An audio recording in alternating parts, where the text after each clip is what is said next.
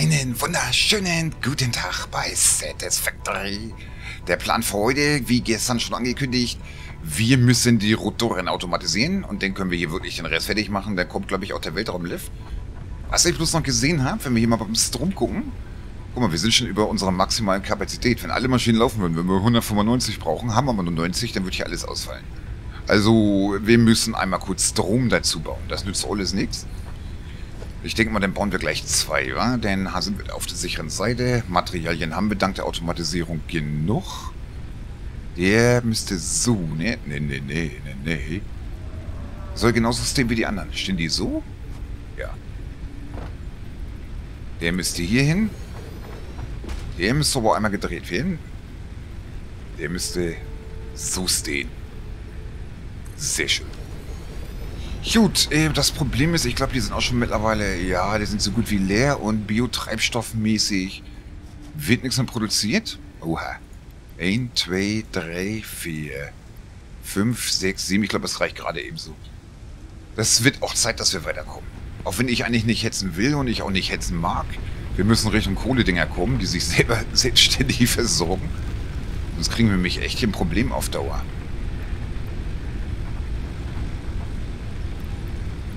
Das nützt alles nichts.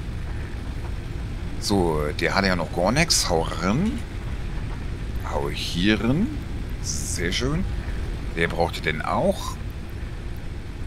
So, die haben wir jetzt, glaube ich, alle versorgt, oder? Den haben wir gerade, den haben wir gerade, den haben wir, den haben wir noch nicht. Siehst du mal? Und ich glaube, die hatten wir auch, ne? So, da müsst ihr noch einmal reingucken, dann müssen wir die hier bloß mit anklemmen. Damit wir strommäßig auf der sicheren Säule sind. Der will nicht drin? Doch. Uns geht das Biozeugs aus. Das ist natürlich nicht so schön. So, warte mal. Die haben den auch mal neu gebaut. Haben wir noch frei? Einen können wir noch anklemmen, ne? Ja, das ist hier momentan nichts Halbes und nichts Ganzes. Das ist ja, das müssen wir alles hier ein bisschen ordentlicher machen. So, der kommt dann da mit ran. Und der neue kann da auch mit ran. Zumindest dürften wir jetzt strommäßig erstmal wieder versorgt sein. Jo, jetzt haben wir eine Kapazität von 250. Und maximal, wenn alle Maschinen laufen, 195, weil da kommt ja einiges zu. Gut, den gehen wir rüber. Wir brauchen, ich glaube, das, ich gucke hier nochmal, Schrauben und auch Eisenstangen. Für den Dingsebums, für die Rotoren, genau. Ja, hier, Schraubeneisenstangen. Das will ich jetzt aber nicht abzwacken von da. Weil das Zeug brauchen wir öfters. Das heißt, wir bauen jetzt einmal eine Schrauben- und Eisenstangenproduktion da oben nochmal auf und lassen das gleich reinliefern in die Rotorenproduktion. Ob das strommäßig so hinhaut, werden wir sehen. Das hier lüft zumindest. Das sieht auch noch alles ziemlich abenteuerlich aus, ehrlich gesagt. Aber das kriegen wir schon hin. Das wird schon. Auf jeden Fall. Einmal hoch. Müsste er so langsam, aber sicher hier schon ein paar... Ich habe das ein paar Minuten laufen lassen. Ja, 36 Stück da schon drin. Das erste Mal. Ich hoffe, das haut hier platztechnisch noch hin. Wir werden es sehen. Wir brauchen auf jeden Fall zwei Schmieden. Oder? Warte mal, die Stangen brauchen nur 15, ne? Wir müssen es mit einer Schmiede machen können. Wir müssen einmal Stangen zu Schrauben machen und einmal Stangen lassen. Wir kriegen es mit einer Schmiede hin. Produktion, da Schmelzofen, aber die soll ja trotzdem symmetrisch stehen und einigermaßen mittig. Passt dann, dann müsste passen, ne? Dann müsste passen. Dann zwacken wir das Milch ab. Der müsste natürlich auch Eisen machen, von hier unten mit. Auch wenn wir es von hier abzwacken könnten, weil der kriegt hier volle 60 rein, aber allerdings, wenn unten was angeschlossen ist, nicht mehr. Gut, jetzt muss ich mal kurz gehen. Wir müssen auf jeden Fall da nochmal so einen Förderlift ranklemmen, irgendwie. Der ungefähr auf die gleiche Höhe wie der da müsste. Ist das ungefähr die gleiche Höhe? Ungefähr, ne?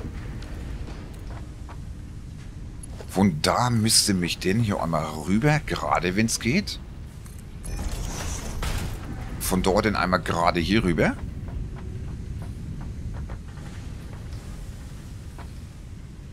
Hier wäre, ja, da passt schon. So, damit wir hier gerade rankommen. Sehr schön. Dürfte da unten mich abzwacken, dann kriegt er hier auch noch seine 30, genau die er braucht. Dann passt das schon. Ja. Dann kriegt der hier 30, der kriegt 30. Sobald er denn läuft. Von da aus müsste das erstmal ein Konstruktor und der Konstruktor müsste das zu Eisenstangen machen. Den müssen wir den ein bisschen hier hinstellen. Aber warte mal, wir müssen es ja erstmal spalten. Wir brauchen ja erstmal ein Snüffelstück. Ein Splittern, genau genommen. Der so dicht wie möglich ran ans Maschinchen. So. Wohl die Barren, die hier rauskommen. Die sollen ja auf zwei Seiten verteilt werden.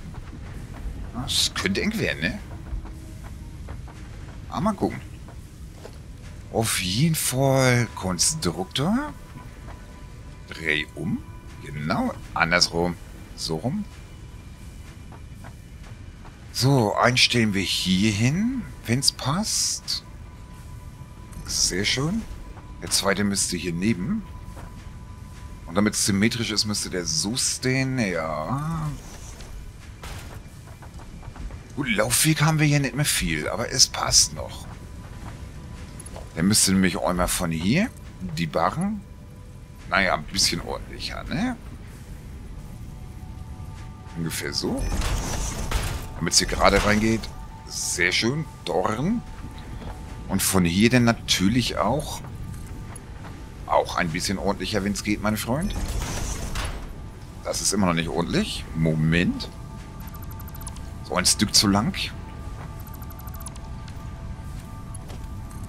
Ein kurzes Stück. Sehr schön. Und von hier dann gerade... Du sollst das Ding im rechten Winkel durchziehen. Er müsste bis hierhin, genau bis zur Stange. Okay. Nee, das Fließband. Ja, ich weiß, ich bin da manchmal überpingelig. Achso, ja, ja, genau. Aber es soll halt auch ordentlich aussehen. Dann geht das nämlich in Debon rein. Der müsste Eisenstong machen. 15, die er hier ja auch kriegt. Hier dann auch nochmal Eisenstong. Hier kriegt er ebenfalls die 15 durch das Spalten. Sehr schön. Und den müsste hier vorne nochmal einer. Also vor dem oder dem ist eigentlich egal der hier raus nochmal Schrauben macht. Den müssen wir jetzt aber eigentlich genau davor setzen können. So. Sehr schön. So, der macht aus den Eisenstong dann wieder Schrauben. Genau. Sammeln sich zwar ein paar Eisenstong an, weil er nur 10 pro Minute braucht. Und hiervor müsste dann der Fabrikator, der die Schrauben und die Eisenstangen kriegt, um daraus Rotoren zu machen. Den können wir wahrscheinlich jetzt gar nicht bauen, weil wir keine Rotoren einstecken haben. Ich Dögel. Hab die mal wieder vergessen. Ja, das nennt sich Vorbereitung, ne? Vom allerfeinsten. Mal wieder nix am Start. Das ist sowas so typisch. Ich hole mir eben die vier Rotoren. Andale, die Rotoren sind am Start ab mit dem Fabrikator nach oben. Und dann sollten wir die Rotoren hier auch locker laufen haben. Wollen wir hier rüber, danke.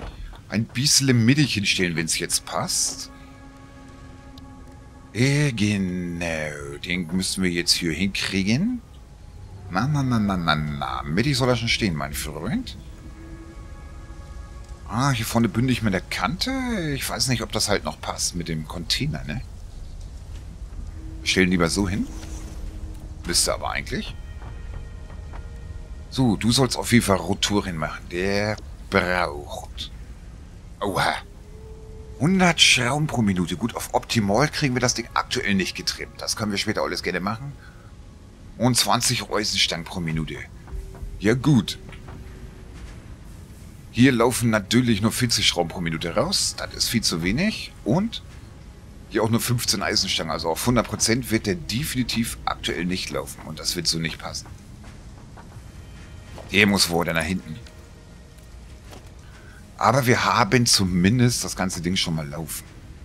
Das ist doch auch schon mal was. Ah, ist vielleicht ein bisschen weit. Ah, so ist schon okay. Wie gesagt, weit entfernt von optimal. Ah, ich glaube, wenn ich den hier im rechten Winkel mache, kriege ich den da nicht mehr rumgezogen, ja, oder? Mal gucken. Nein, nein, naja, gut. Haben wir halt mal hier so ein Schlingerfließband. Den ziehen wir dann von da nach da. Fakt ist, arbeiten müsste er auf jeden Fall. Nicht mit voller Leistung, aber er müsste arbeiten.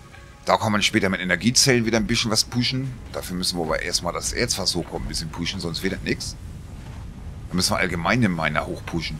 Wahrscheinlich auch die Fließbänder. Aber eins nach dem anderen. Das sollte auf jeden Fall so arbeiten. Dann geht der Container jetzt ran. Damit wir zumindest schon mal einen Teil der Dinge automatisch produzieren. So, der Container soll natürlich symmetrisch mit dem stehen, aber auch symmetrisch mit dem Ausgang. Steht er so? So müsste er richtig stehen, ne? So steht er, glaube ich, mit dem hier. Und das geht dann einfach hier ran. Sehr schön.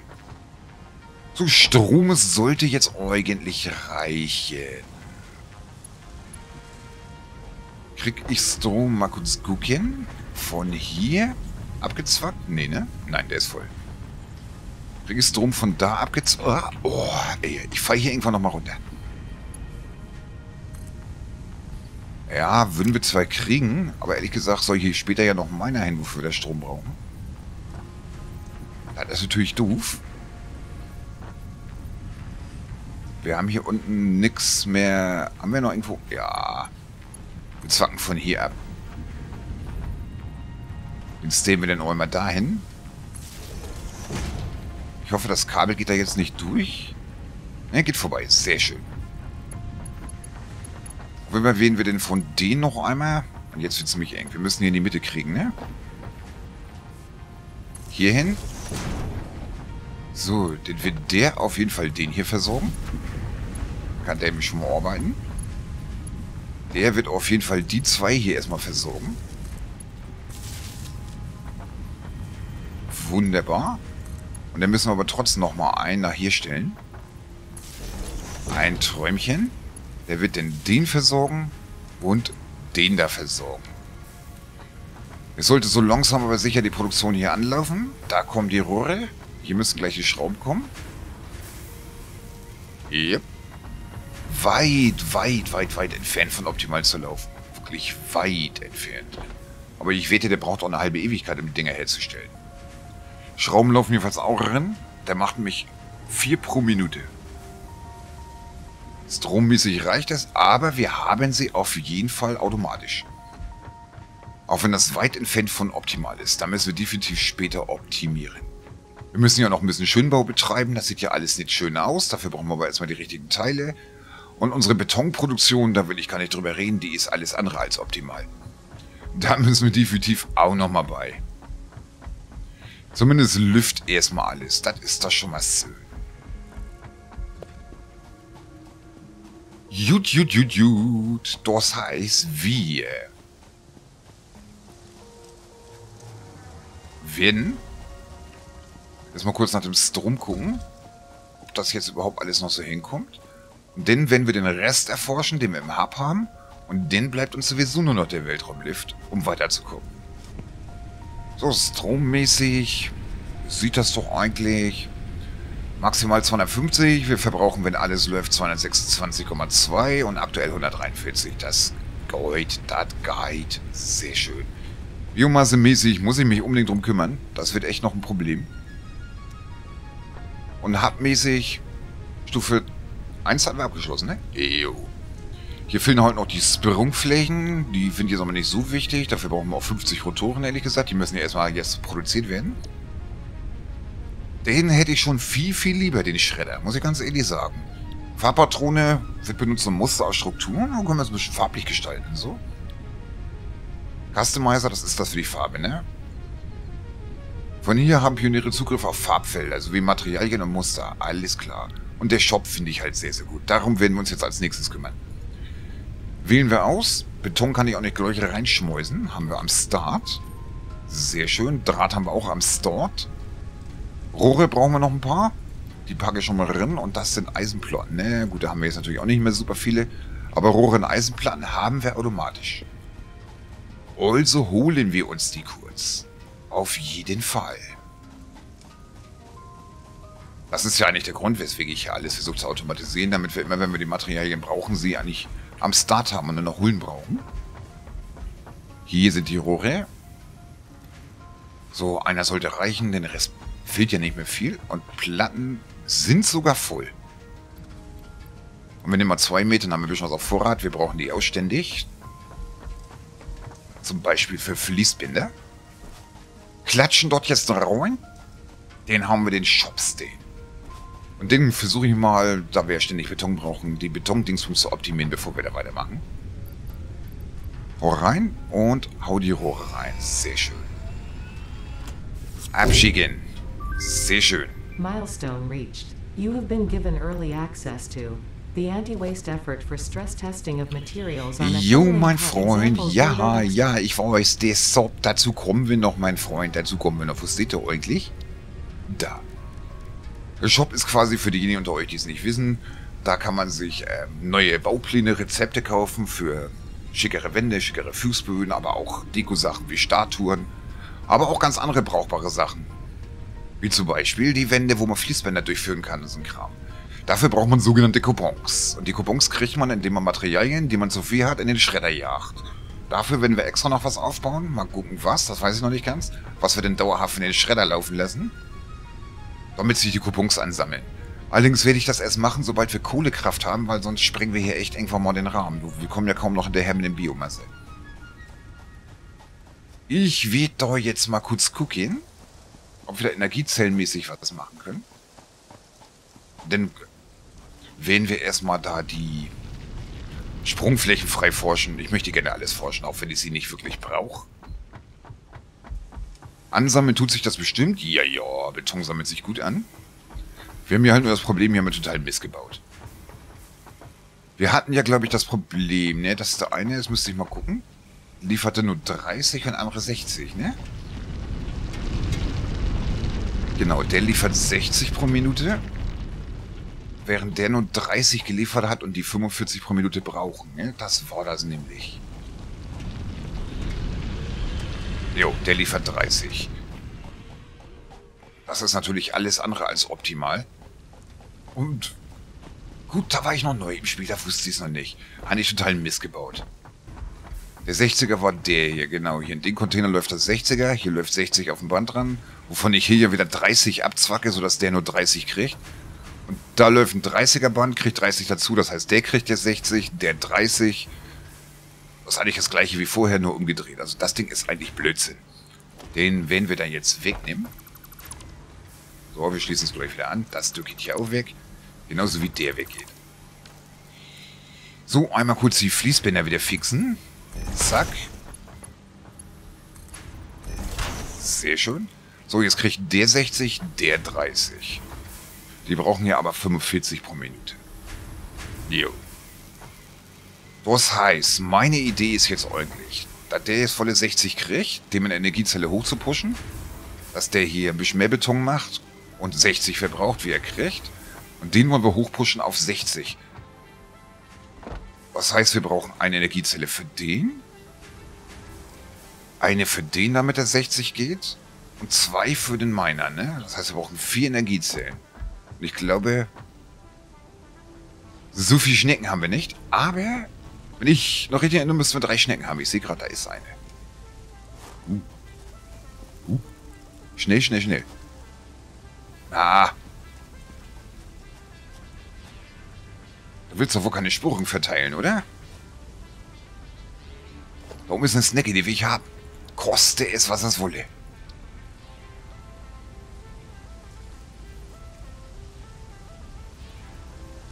So ist natürlich doof. Warte, wir nehmen die Rumpen hier gleich wieder weg. Aber hier muss eine anständige Rampe hoch. So. Zack. Zack. Doch nur einmal da hoch. Schnell, schnell, schnell, schnell, schnell. So, sammle ein. Wir müssen hier weg, bevor das Ding das an der Spruchung verteilt. Sehr schön. Sehr schön, sehr schön. Oder ich lasse die erstmal stehen. Man sieht nicht schön aus. Ich habe die Vermutung, dass die Schnecken nass spawnen. Dann können wir die später vielleicht nochmal einsammeln. Dann stimmen wir mich jetzt erstmal kurz vier Energiezellen her. Dann haben wir die Betonproduktion nämlich auch schon mal am Start. Und dann kümmern wir uns weiter um die Forschung. Ich hoffe nur, Strom hält jetzt lange genug durch, dass ich genug Biosaftmasse gesammelt habe. Wir sind noch nicht bei den Kraftwegen. So schnell geht das nicht. Da sind die. So, Energiezellen. Wir brauchen vier Stück. Den machen wir mal alle vier. Dort geht ja Rubizubi. Sehr schön. Fracht das auch wieder am Anmarsch? Yep. So, wir fangen jetzt an mit dem 60er. 60 wird ja hier geliefert. Der kriegt da volle 60, verbraucht aber nur 45. Das heißt, der kriegt hier schon mal ein Energiezählchen. Eins zumindest. Ich hoffe, der Strom macht nicht schlapp.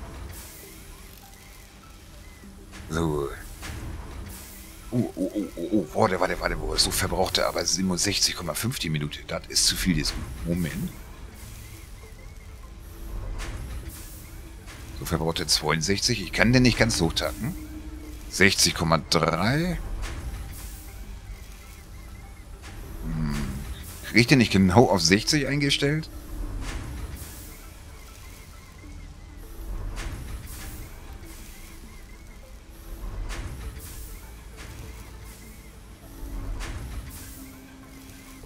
Ah, das ist schwierig, ne? Das ist schwierig.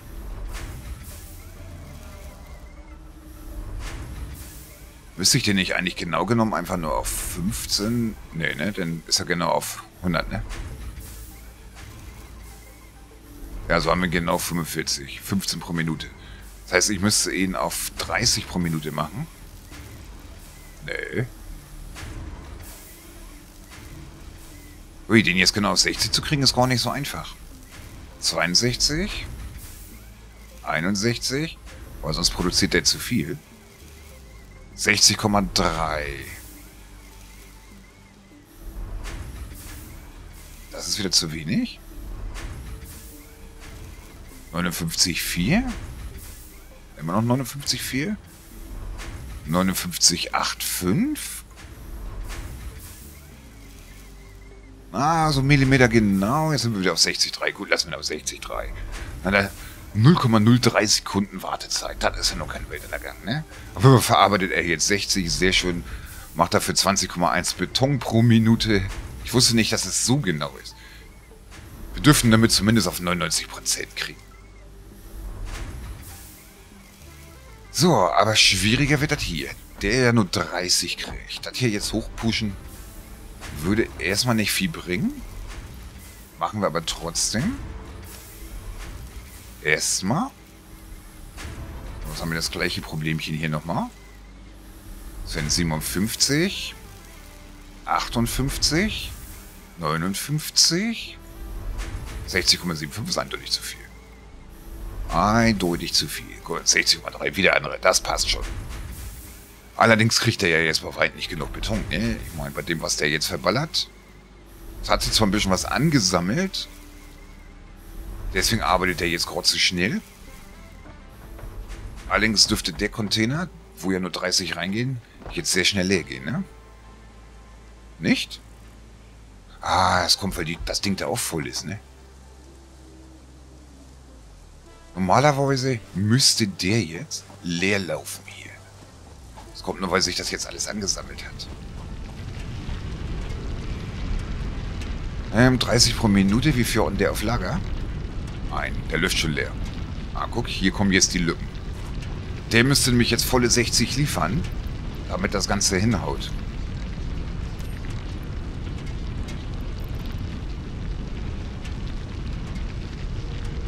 Ah, das ist ein Unreiner hier, ne? Na gut, da müssen wir zwei rein. Den kriegen wir Sinn. Sehr schön. Jetzt liefert er nämlich genau 60 pro Minute. Jo. Die 60 verbraucht er ja auch. Gut und 0,003. Aber wir kriegen jetzt beide 60. Beide sind gleich eingestellt. Die müssen jetzt eine Wartezeit von 0,03 Sekunden haben. Das lässt sich aber noch alles hinkriegen. Aber zumindest produzieren die jetzt anstatt 15 Beton pro Minute 20,1. Das wird schon. Der Container dürfte sich nicht weiter füllen, aber die sind ja eh voll. Im Gegenteil, dürfte sich sogar langsam ein bisschen leeren. Weil halt nicht genug geliefert wird. Aber das ist plus minus null, wie man sieht. Ich glaube, diese 0,001 Sekunde da macht nicht viel Unterschied. Der ist auch plus minus null, oder? Der verbraucht sogar ein bisschen mehr. Warum? Der liefert 60, der dürfte ja nicht aus 60 liefern. Ah, hier kommt erst die Lieferung. Das war noch der Anfang. Alles klar. Besser kriegen wir die Produ Betonproduktion aktuell nicht hin, aber das dürfte sich jetzt ruckig füllen. Der Container ist ja eh irgendwann voll und es stoppt hier eh alles. ja, das ist sehr schön. Dann haben wir das auf jeden Fall auch. Gut, dann können wir uns hier weiter um die Forschung kümmern. Wie gesagt, wir haben jetzt alles erstmal automatisch, was wir automatisieren können. Das heißt, wir kommen da jetzt aktuell sowieso nicht weiter. Das heißt, wir müssen hier. Hier fehlt uns ja noch die Sprungflächen. Und um die werden wir uns jetzt kümmern. Auch wenn wir sie nicht brauchen. 50 Rotoren, 300 Plotten. Oh, fehlt noch ein bisschen was. Kabels fehlt noch ein bisschen was. Das holen wir jetzt und bei Rotoren müssen wir echt mal gucken, was wir da überhaupt haben. Weil die haben wir jetzt erst aufgebaut. Die lüft ja noch gar nicht. Richtig. Ich glaube nicht, dass wir 50 Rotoren haben. Ähm, erstmal Platten, die waren hier vorne. Platten waren voll, ne? Dann passt das schon. Jo, jo. Immer wieder zwei mit hier. Wunderbar. Ähm, nicht darauf. Hier vorne hatten wir Kupfer. Hier habe hab ich schon richtig lange nicht mehr geguckt. Hier sieht auch so aus, als wenn hier alles still steht. Strom haben sie aber. Bestimmt alles voll. Jo, Kabellage ist voll. Nimm auch mal zwei mit, die brauchen wir sowieso ständig. Dann kann das hier zumindest weiterlaufen. Und ich glaube, hier haben wir auch, genau, hier ist Draht, das brauchen wir aktuell nicht. Und hier haben wir diese Kupfersheets, ne? Ja, ja, die Bleche ist sehr schön. Das lüft alles. Hier. Speckil ist mal wieder im Clown. Kennen wir schon. Aber wer lüft alles? Die Rotoren. Ähm, Knochenbrechen? Knochenbrechen. Sehr schön. Da muss ich jetzt nach Lugi Lugi machen. Ich glaube nicht, dass wir die 50, die wir brauchen, schon drin haben. Das waren auch die Rahmen. Nö, aber immerhin schon mal 23. Das war schon mal ein Anfang. Aber wie gesagt, er arbeitet auch gerade mal zu 41 Prozent. Weil der noch bei weitem nicht optimiert ist. Da müssen wir noch einiges mehr machen. Da reichen ein, zwei Energiezellen nicht. Aber eins nach dem anderen. Versteckten Planten sind jeweils nicht das Problem. Obwohl ich das auch nicht einfach hochpushen kann, weil dann reicht unten die Produktion nicht mehr. Wir müssen hier ja auch was einsammeln. Das hier wird schon etwas schwereres Unterfangen. Fakt ist, hier müsste sich was ansammeln, ne? Jo. Gut, was brauchen wir denn genau genommen? Ich packe erstmal das rein, was wir haben, um die Rotoren selbst herzustellen, bis die Produktion da mal zu Porde kommt. Das werden wir schon sehen. Oh, ich bin echt mal gespannt, wie das später alles aussieht, wenn hier, wenn alles ein bisschen nach Fabrik und so aussieht.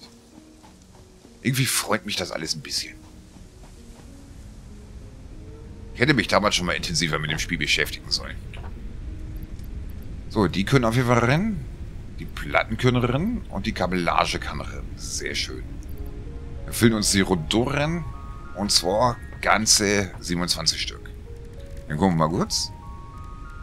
Wir können nur zwölf machen, weil wir nicht genug Schrauben haben.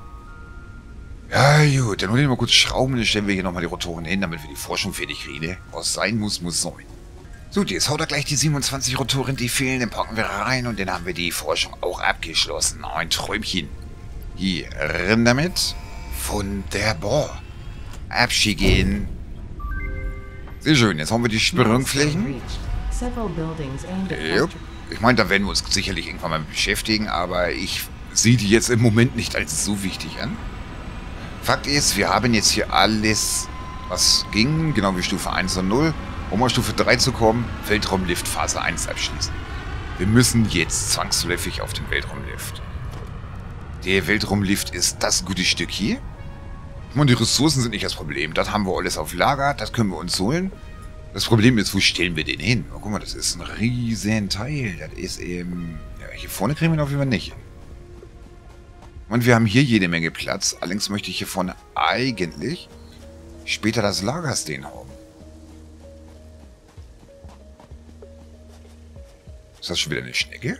Oder ist das der Baum? Da ist der Baum, ne? Gerade so. Da müssen wir echt mal gucken. Ich meine, wir hätten da jede Menge Platz, ne? Hier war da hinten. Ich will nur gucken, wir werden sowieso Platten unterbauen. Wenn ich es noch richtig im Kopf habe, ist der 7x7 groß. Aber ich denke mal, hier werden wir ihn wohl hinkriegen. Ungefähr so müsste er, aber halt denn auf Platten. Denn es hat zwar eine ganze Ecke von uns entfernt, aber er steht uns zumindest nicht im Weg, ne? Das wäre quasi der Plan für morgen. Der Weltraumlift, dann gucken, was die erste Stufe des Weltraumlifts braucht, damit wir mit der Hubforschung weiterkommen. Ich glaube nämlich, wir gehen jetzt auch so langsam Richtung Kohlekraftwerke und die brauchen wir dringend. Oh, uns geht das echt mit der Biomasse langsam, aber sicher echt etwas viel hier. Gut, dann steht der Plan für morgen. Morgen steht alles unter dem Motto Weltraumlift. Das kriegen wir hin. Vielen Dank fürs Zuschauen. Bye bye.